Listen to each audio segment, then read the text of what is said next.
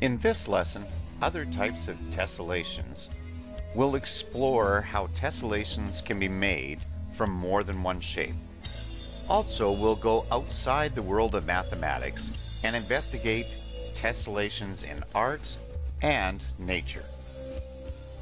Tessellations are not limited to using only a single shape. We'll demonstrate this by using our octagon.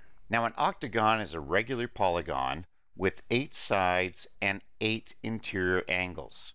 The interior angles measure 135 degrees. So if we try to tessellate an octagon by itself without creating any gaps or overlaps, we will have trouble because three octagons put together result in our overlap.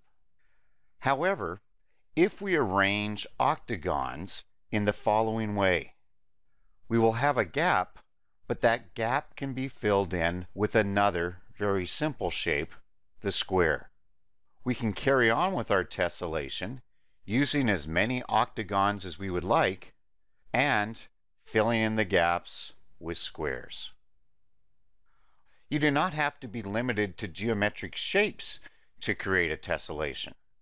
Many artists have used tessellations to create some beautiful masterpieces. M.C. Escher is one you'll want to investigate. He has made his whole career out of drawing specific types of tessellations. Here is an example of M.C. Escher's work.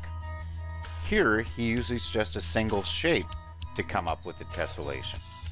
Another artist uses two shapes to come up with this tessellation. Finally, another artist uses portraits to come up with the tessellation. You can also see many examples of tessellations as they exist in nature. A common one is the honeycomb created by bees. They link together perfectly formed hexagonal tubes into a beautiful type of tessellation. Here is a skin on a snake, forming an incredible type of tessellation. Look no further than your local beach to observe various animals displaying all sorts of different types of tessellations as they sleep. Tessellations truly exist everywhere. Go online and see what tessellations you can discover. It is a beautiful place where mathematics, art, and nature collide in extraordinary ways.